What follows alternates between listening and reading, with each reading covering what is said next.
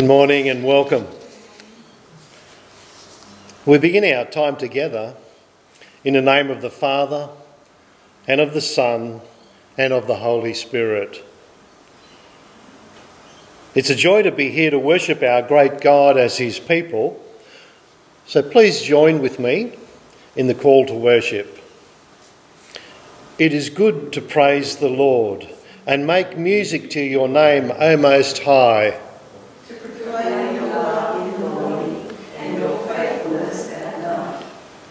For you make me glad by your deeds, O Lord. I sing for joy at the work of your hands. Come, let us sing for joy to the Lord. Let us shout aloud to the rock of our salvation. Let us come before him with thanksgiving and extol him with music and song. For the Lord is the great God, the great King above all gods. Worship the Lord with gladness. Come before him with joyful songs.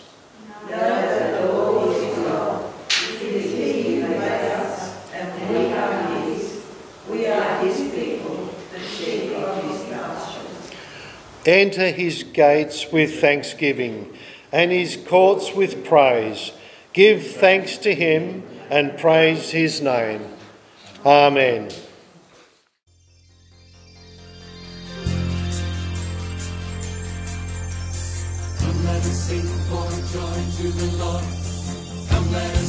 For joy to the Lord.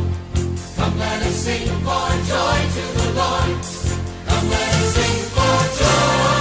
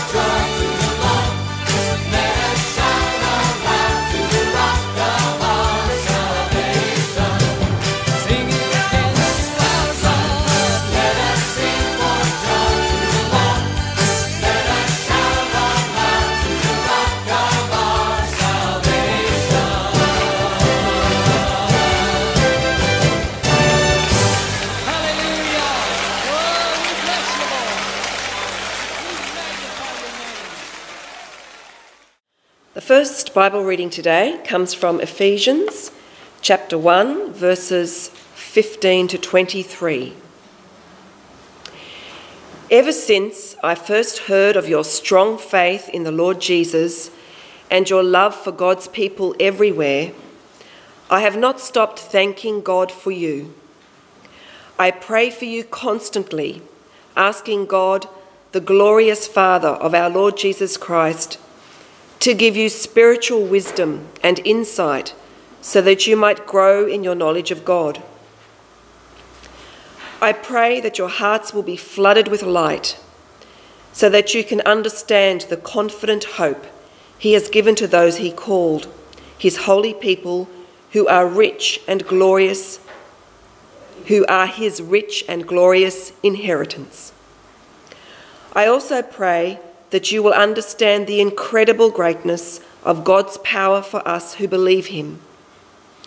This is the same mighty power that raised Christ from the dead and seated him in the place of honour at God's right hand in the heavenly realms.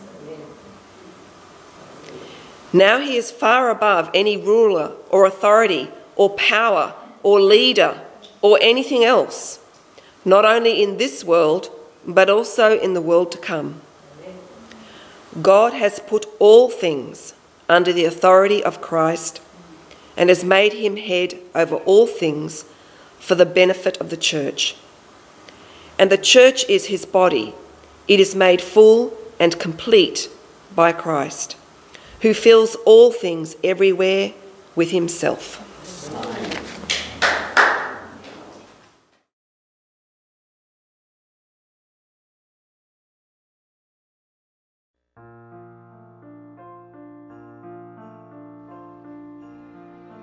When they were in the field, Cain rose up against his brother Abel and killed him. What causes quarrels and what causes fights among you? Is it not this, that your passions are at war within you? You desire and do not have, so you murder. You covet and cannot obtain, so you fight and quarrel. If you bite and devour one another, watch out that you are not consumed by one another. From the least to the greatest of them, everyone is greedy for unjust gain. From the prophet to the priest, everyone deals falsely. They have healed the wound of my people lightly, saying, Peace peace when there is no peace. We look for peace, but no good came, for a time of healing, but behold, terror. The way of peace they have not known, for the mind that is set on the flesh is hostile to God. For it does not submit to God's law. Indeed, it cannot. But he was pierced for our transgressions. He was crushed for our iniquities. Upon him was the chastisement that brought us peace. For we have peace with God through our Lord Jesus Christ, for he himself is our peace. Glory to God in the highest, and on earth peace among those with whom he is pleased.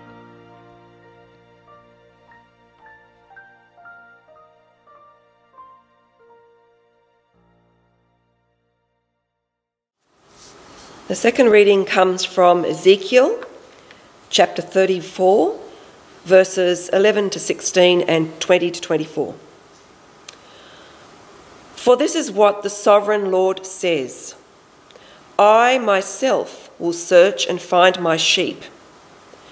I will be like a shepherd looking for his scattered flock. I will find my sheep and rescue them from all the places where they were scattered on that dark and cloudy day. I will bring them back home to their own land of Israel, from among the peoples and nations.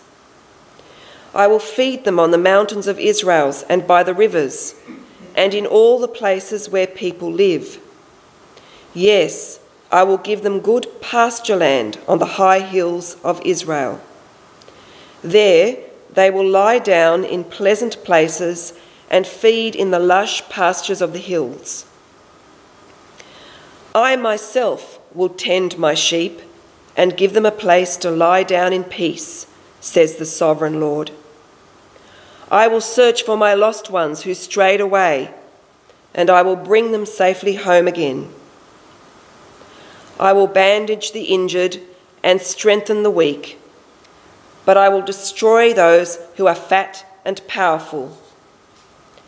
I will feed them, yes, feed them justice. Therefore, this is what the sovereign Lord says I will surely judge between the fat sheep and the scrawny sheep. For you fat sheep pushed and butted and crowded my sick and hungry flock until you scattered them to distant lands. So I will rescue my flock, and they will no longer be abused. I will judge between one animal of the flock and another, and I will set over them one shepherd, my servant David. He will feed them and be a shepherd to them, and I, the Lord, will be their God, and my servant David will be a prince among my people. I, the Lord, have spoken.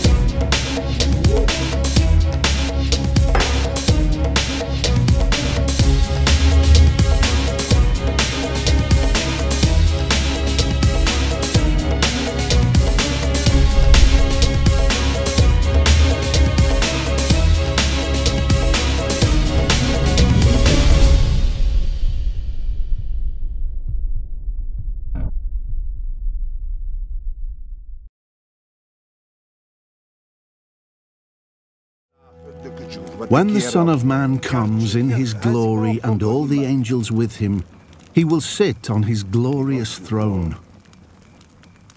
All the nations will be gathered before him, and he will separate the people one from another as a shepherd separates the sheep from the goats.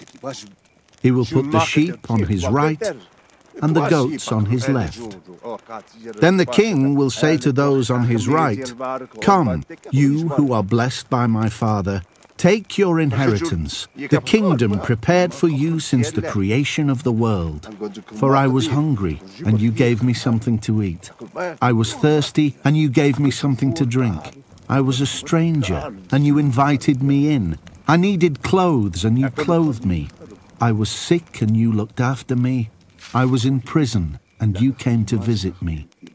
Then the righteous will answer him, Lord, when did we see you hungry and feed you, or thirsty and give you something to drink? When did we see you a stranger and invite you in, or needing clothes and clothe you? When did we see you sick or in prison and go to visit you? The king will reply, Truly I tell you, whatever you did for one of the least of these brothers and sisters of mine, you did for me.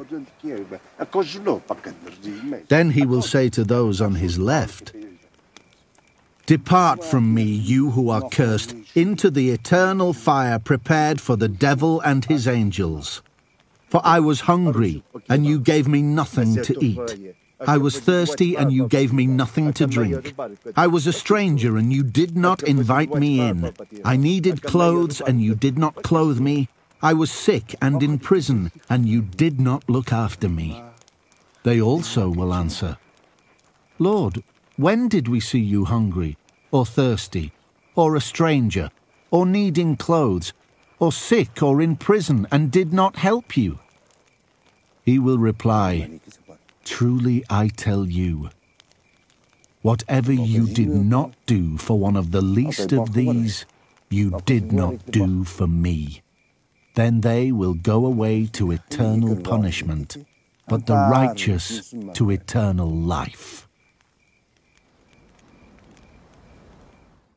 We're now going to join in together uh, in a prayer. Open our eyes, Lord, to see as you see and weep as you weep. Open our hearts, Lord, to love the broken and care for those without hope. Open our hands, Lord, to hold what we have lightly and to share cheerfully. Open our mouths, Lord, to speak for the voiceless and to shout for mercy. Open our ears, Lord, to the gentle whispers of your Spirit and to obey what you say. Open up our lives, Lord, to the call of your voice and the needy cries of the dying. In Jesus' name, Amen. Let's sing this as a prayer in our hearts together.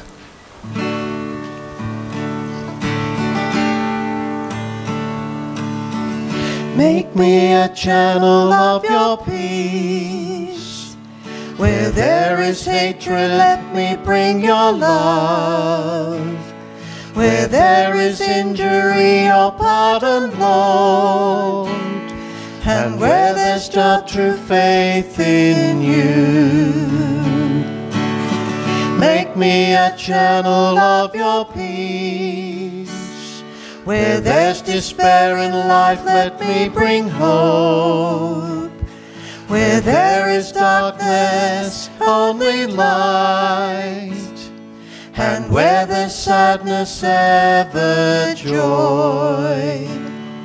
Oh, Master, grant that I may never seek so much to be consoled as to console, to be understood as to understand, to be loved as to love with all my soul.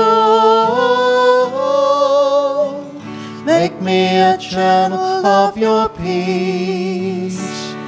It is in pardoning that we are pardoned, in giving to ourselves that we receive, and in dying that we're born to life.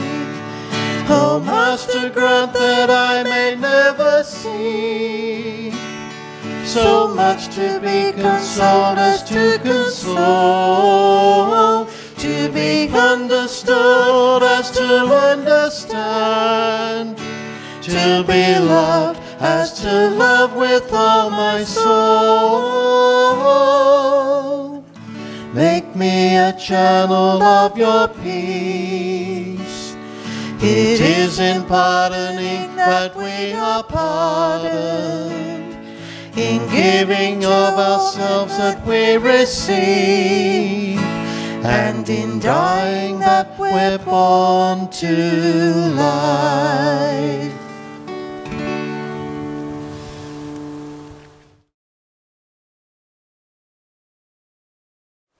Shall we start with prayer? Let's pray. Lord God and Heavenly Father, we, I pray that the words of my mouth and the meditations of my heart might be of benefit to us all, and that we might uh, be able to respond with, with thanking you and praising you for the word that you have given us in your holy scriptures and in Jesus Christ. And this we pray in Jesus' name. Amen. This last Sunday directs our thoughts to what is to come.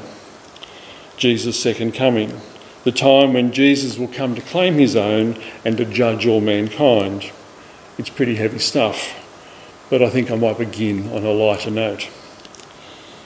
Now, one cold winter's evening, old Paddy had been warming the cockles of his heart with a few ales, or more likely it was a number of stout Guinness, because he was Irish.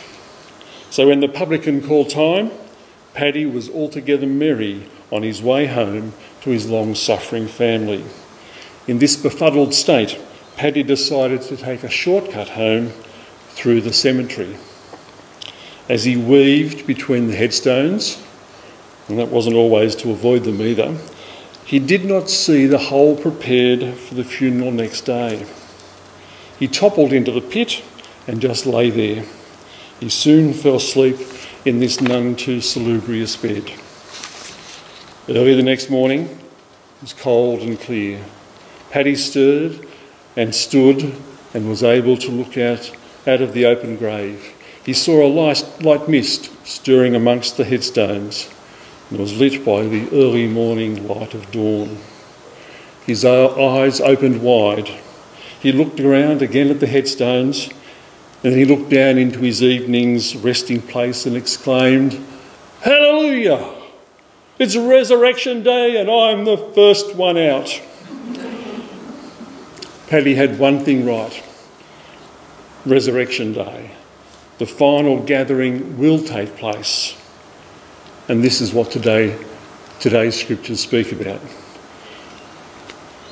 So, in the time of Ezekiel, that uh, Shona wrote, uh, read to us today, in chapter 34, Ezekiel was proclaiming that the Lord will gather his flock from where they had been scattered. At that time, that was from Babylon. Uh, that was to come where the people of Judah had been exiled. They'd been taken away from the promised land. And this prophecy points towards a much greater gathering that will happen when the Lord, in all his majesty and might, comes to judge the world and everything in it. So, look what will happen on this day. So, the, the sovereign Lord will search for his sheep and look after them. He will rescue them from the places where they have been scattered. The, this rescue mission will bring the chosen ones of God from every nation and country and will bring them back to the land of their own. For the people of Ezekiel's time, that was to bring them back from where they'd been scattered, bring them back to Israel, back to Jerusalem, and to the land that was their own, the land, the promised land that had been given to Abraham so many centuries before. And this land will be an abundant one. The needs of God's people, uh, his sheep, will be met perfectly. They will have good, rich pasture. It'll be a place of uh, abundance. And in verse 15, we're told, yes, God will tend his people, he will search for the lost and bring back the strays. He'll bind up the injured and strengthen the weak. Be sure of one thing this last gathering will be the result of God's efforts alone. He will search for his own, He will rescue them, He will look after them. When we cast our thoughts to the last day, when Jesus will come to claim his own, we must realise that there is nothing that we can change there's nothing that we can do to change a single bit of it. God has it all sorted. It will happen according to His will and in His perfect timing. In other words, God has set the agenda and the timetable. Our task is to do nothing but to praise God. But this is not the whole story. This time will also be a time of judgment. The Lord will find the, the lost and heal the sick. He will also destroy the sleek and the strong. Those amongst the sheep that have, been, that have ridden roughshod over the weaker ones uh, to achieve their own ends, they are called the, the strong and the sleek. And at this time of judgment, God will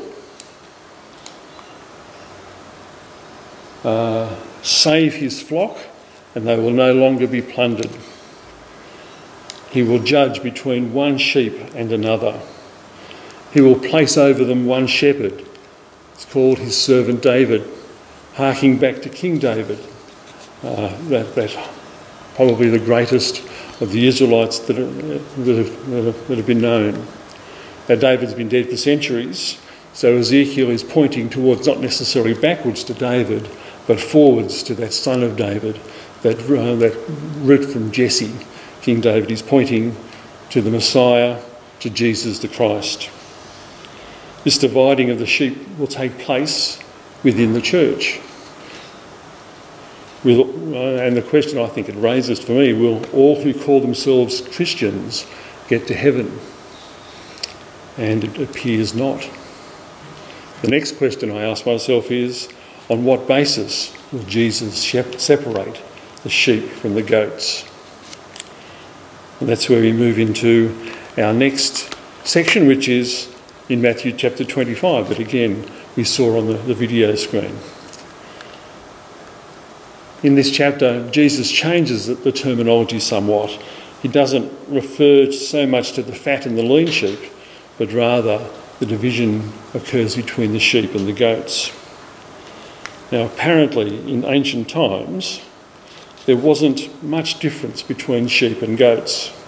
though I've heard it explained, was that selective breeding hadn't taken place and merinos didn't tread the pastures of Israel. But nonetheless, sheep and goats were almost identical. The one difference was that sheep had a tail that curled up, but it might have been curled down, and goats had a tail that curled down, but it might have curled up.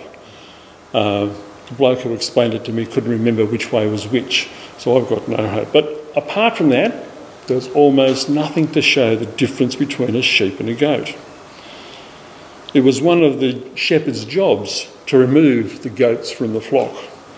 It wasn't necessarily, necessarily easy to spot the difference, and from anyone other than the shepherd, it would be exceedingly difficult. And this is borne out in Jesus' teaching in the Gospel, which I think does echo what is said in Ezekiel. Jesus is speaking about the last day, the final gathering.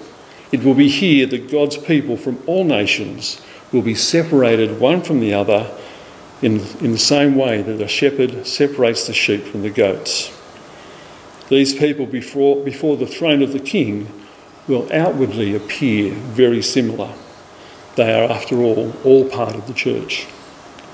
But on the inside, they are different. And it's on the inside that God looks.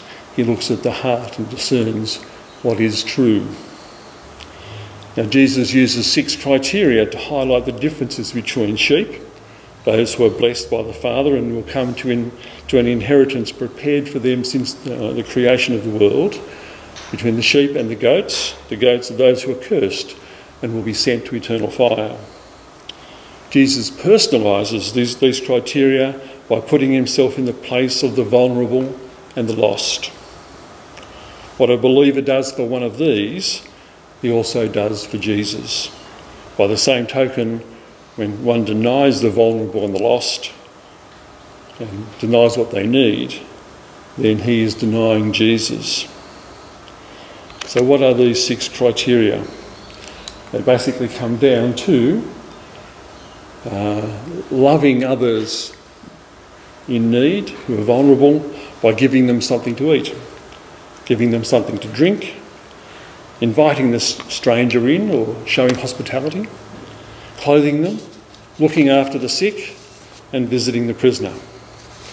And over the centuries, the Christian church, I think, has been active in doing all of these things. Sometimes better, sometimes not so well. And uh, I think in today's day and age, there are lots of different service agencies that the church have developed. I think the, the Lutheran have one. I keep on trying to remember it. The Lutheran services, that's part of it. There's Anglicare, Baptist Care, Uniting Care. Salvation Army the, the whole purpose there is for service in, in many ways, and they're all there. We've been doing that, but I would suggest that these actions do not stop at meeting other people's physical needs. One of the tasks of the believer, one of my obligations, I think, is to meet the spiritual needs of my brother and sisters in Christ. This being the case, as a believing a believer in Christ, how do I give them something to eat and drink? Or particularly if they're hungering and thirsting after righteousness, what can I do to assist them in finding that? If they have come to the realization that they are the enemy, that they are an enemy of God, and they fall short of their design potential, then I should be able to point them to the way to the bread of life and to the living water, to Jesus Christ Himself, who through His death on the cross has paid the penalty for our rebellion and has turned aside God's wrath, enabling us to come into His presence. And that is where they find Christ in His righteousness, and He is able to give them His righteousness through faith, through their faith in Him. I mustn't keep this knowledge to myself. Rather, it is a message that is of value to everyone I know, to those I know, and to those I don't yet know, to strangers. I am to be active in sharing my faith with both friends and with strangers, inviting them in to the knowledge that I have of Jesus Christ and in how to worship Him. How do I clothe the spiritually naked? What are the spiritually naked? Perhaps they're those who are vulnerable to the pressures of this world and are borne down under its weight. Again, by my word and example, I can best encourage the spiritually naked by pointing them to Jesus. And uh, one text that immediately springs to mind, and it's always in the AV, the authorised version Come to me, all ye that labour and are heavy laden, and I will give you rest. How do I help the spiritually sick? I think there's only one way to help them, and that is to assure them that God has forgiven them and that they can forgive others. I've heard from different places that forgiving others not only heals my soul, but also may heal my body. Bitterness that is bred by unforgiveness is like a deadly poison. The only antidote is to know God's forgiveness and in turn to forgive others. What about those in, prison spiritually? Are they the ones who know no peace? How do you break the sh- these shackles of spiritual imprisonment? You may be able to fathom all mysteries and all knowledge. Your faith may be enough to move mountains, but if you don't have love, then you have nothing. It is by loving others that a believer finds that peace that transcends all understanding. Who are the sheep? Those who look after the spiritual and physical needs of others. Who are the goats? They may look the part, but their faith is only skin deep. Skin deep. It has no substance. In short, in his letter to the Ephesians, Paul summarises the differences between sheep and goats. And if you listen to exactly what Fred said, then I'll, I'll say ditto.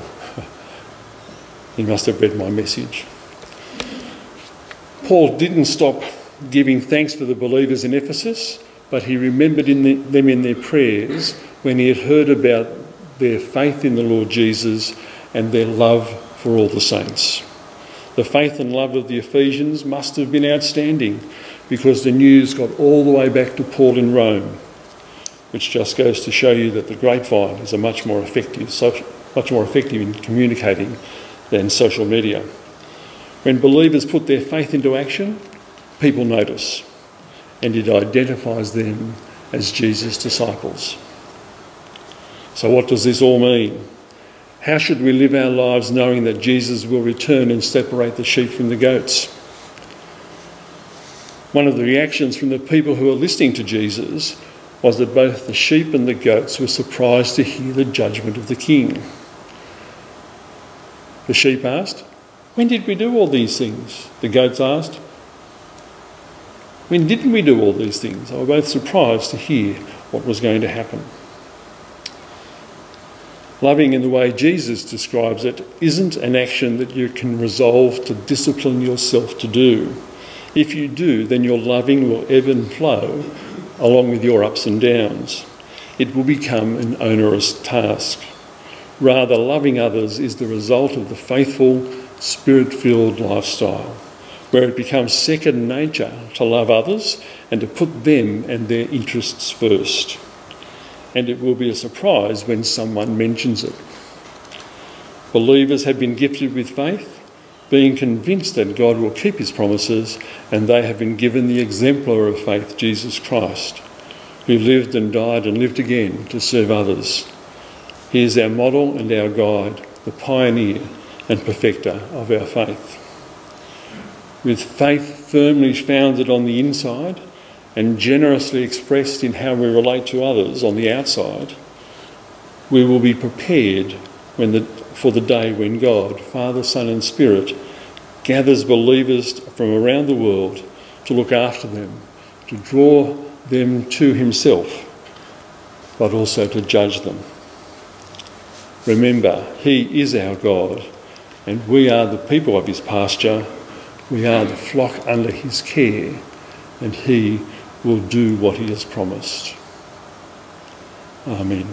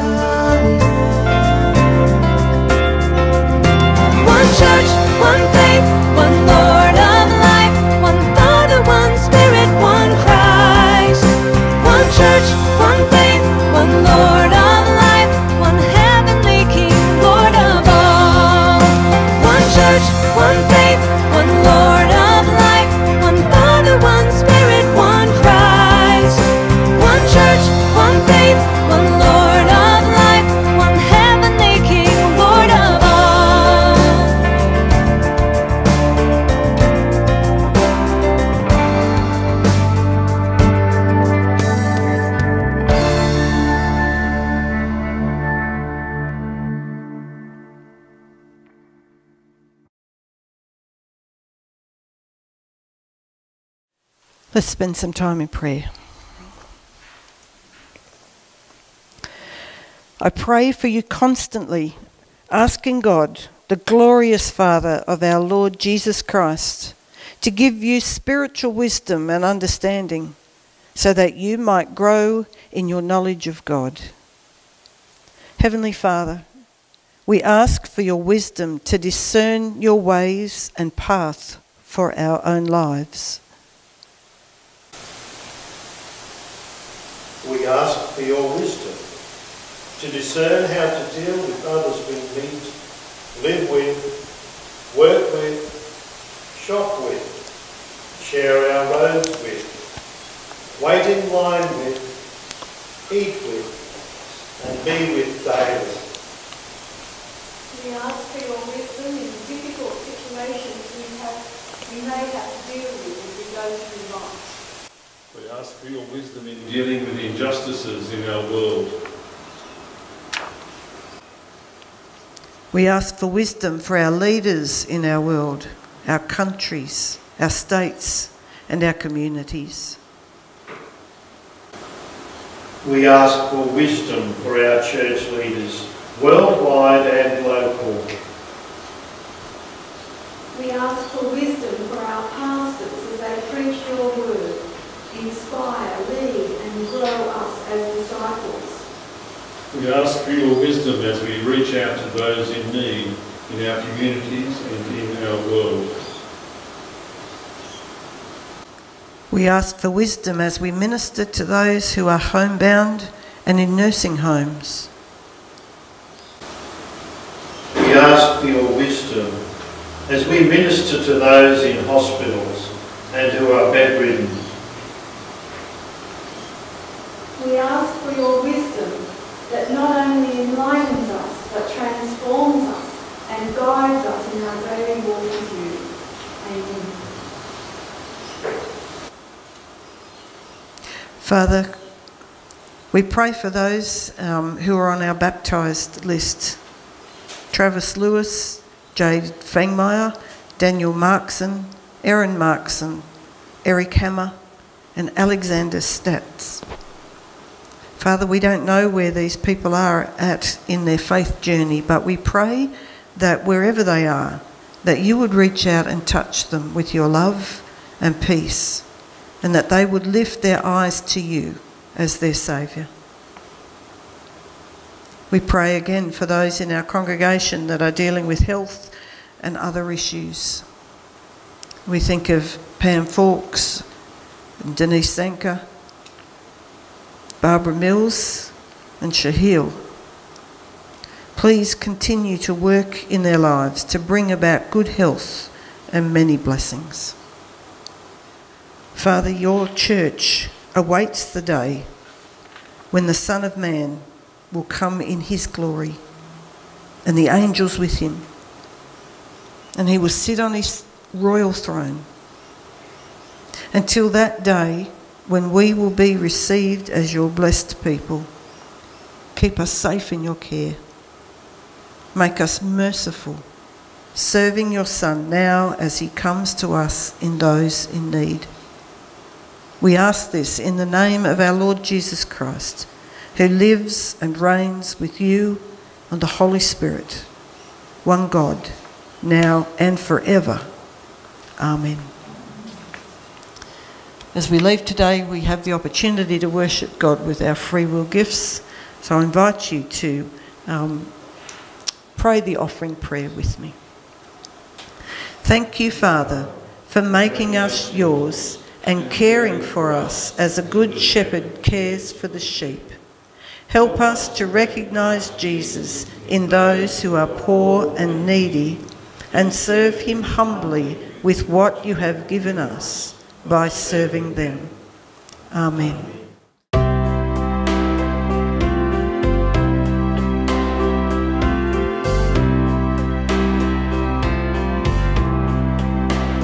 Blessed assurance, Jesus is mine. Oh, what a foretaste of glory divine, heir of salvation, purchase of God, Spirit, washed in His blood. This is my story, this is my song, praising my Savior all the day long. This is my story, this is my song, praising my Savior all the day long. Submission, perfect delight. Visions of rapture now burst on my sight. Angels descending bring from above echoes of mercy, whispers of love. This is my story, this is my song, praising my Savior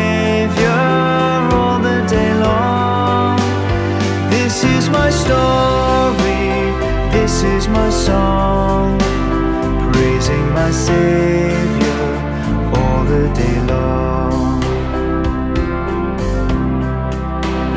Perfect submission, all is at rest. I in my Savior am happy and blessed, watching and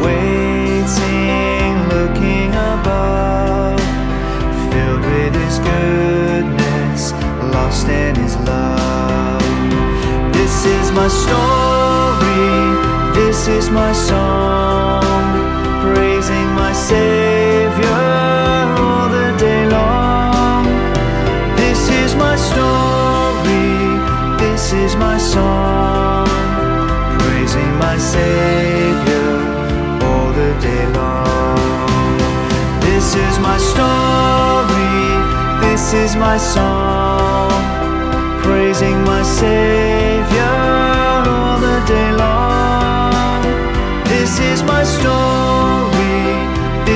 my song, praising my Savior all the day long.